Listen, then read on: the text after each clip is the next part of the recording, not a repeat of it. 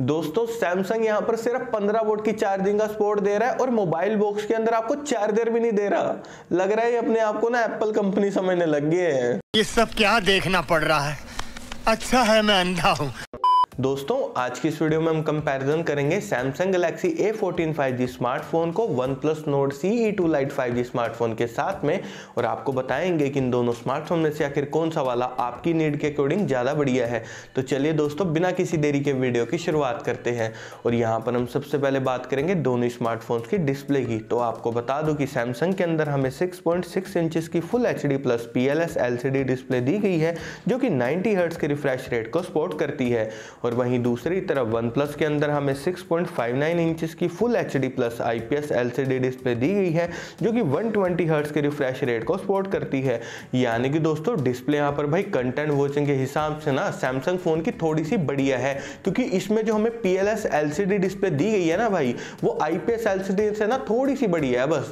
लेकिन दोस्तों, अगर आपको गेमिंग के हिसाब से डिस्प्ले चाहिए ना भाई, तब आप यहाँ पर वन प्लस की तरफ़ ही ज़रूर से जाइए, क्योंकि इसमें जो आपको 120 ट्वेंटी का हाइयर रिफ्रेश रेट दिया गया ना भाई, एकदम स्मूथली वाली गेमिंग आपको करवा देगा। और अब बारी आती है दोस्तों ऑपरेटिंग सिस्टम की तो यहाँ पर सैमसंग का phone out of the box Android 13 के साथ में आता है, जो कि वन यू आई कोर पर बेस्ड है। वहीं दूसरी तरफ़ वन प्लस का phone out of the box Android twelve के साथ में आता है, जो कि ऑक्सीजन ओएस 12.1 पर बेस्ड है। यानी कि दोस्तों ऑपरेटिंग सिस्टम के मामले में यहाँ पर सैमसंग का फ़ोन ही विनर है, क्योंकि आउट ऑफ़ द बॉक्स हमें एंड्रॉइड 13 मिल रहा है भाई, अच्छी बात है।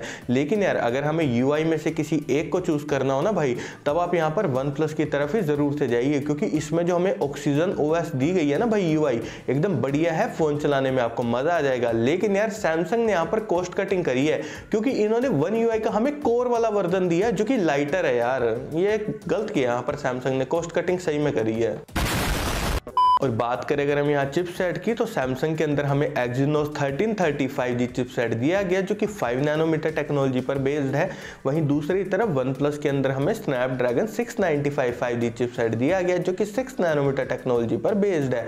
और आपको बता दो दोस्तों डे टू डे परफॉर्मेंस और गेमिंग के हिसाब से यहाँ पर दोनों चिपसेट बढ़िया है। लेकिन यार, अगर आपको गेमिंग करनी है ना भाई, तब आप यहाँ पर वन प्लस की तरफ़ ही जाना, क्योंकि वन ट्वेंटी का रिफ्रेश रेट इसी में मिल रहा है। आपको स्मूथली वाली गेमिंग करनी है तो भाई इसी के साथ जाइए। और बात करें अगर हम यहाँ एंट्रोडो स्कोर की तो दोनों स्मार्टफोन्स का आता है चार लाख के करीब, जो कि एक अच्छा स्कोर है। और अब बारी आती है भाई बैक कैमरा सेटअप की तो दोनों स्मार्टफोन्स के बैक में हमें ट्रिपल कैमरा का सेटअप दिया गया है।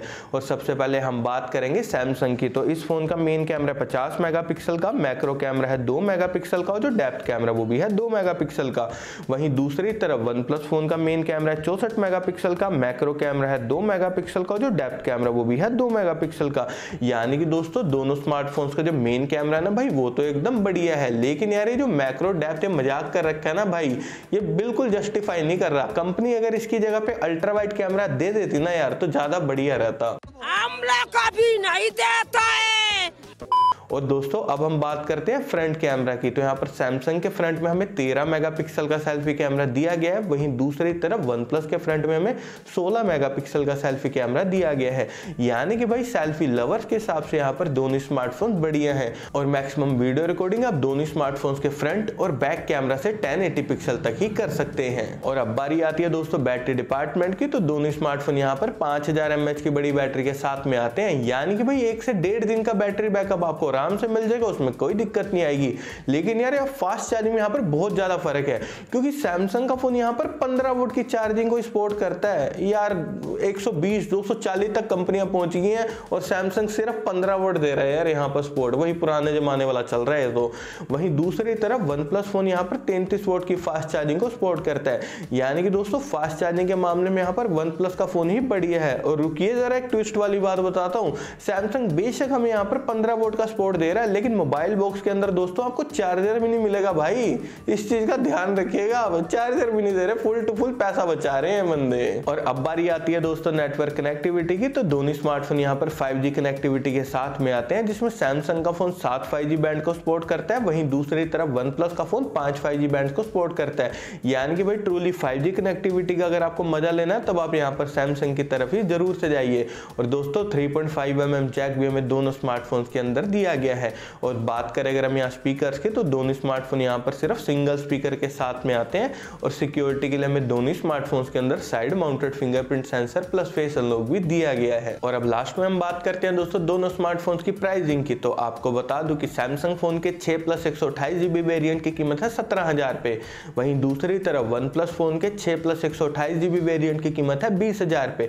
और दोस्तों अगर मैं यहाँ पर अपना पॉइंट ऑफ़ व्यू दू ना भाई इन दोनों स्मार्टफ़ोन के लिए तो देखिए भाई, अगर आपको फास्ट चार्जिंग से दिक्कत नहीं है और आपको चार्जर बॉक्स के अंदर नहीं मिल रहा, उससे भी आप कॉम्प्रोमाइज कर सकते हो। साथ ही अगर आप अपने पैसे भी बचाना चाहते हो और सैमसंग ब्रांड की तरफ़ से फ़ोन चाहिए, तब आप यहाँ पर भाई डेफिनेटली सैमसंग की तरफ़ ही ज़रूर से जाइए। लेकिन दोस्तों, अगर आपको फ़ोन के अंदर फास्ट चार्जिंग भी भाई एकदम ज़रूरी है, साथ ही आप गेमिंग के हिसाब से भी स्मार्टफ़ोन लेना चाहते हैं ना, और वन की ब्रांड वैल्यू वाला फ़ोन भी चाहिए, तब आप यहाँ पर डेफिनेटली वन की तरफ़ ही ज़रूर से जाइए। तो बस दोस्तों, यही था मेरे कुछ ऑनेस्ट ओपिनियन इन दोनों स्मार्टफोन्स के लिए।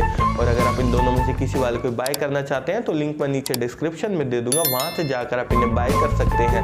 खत्म।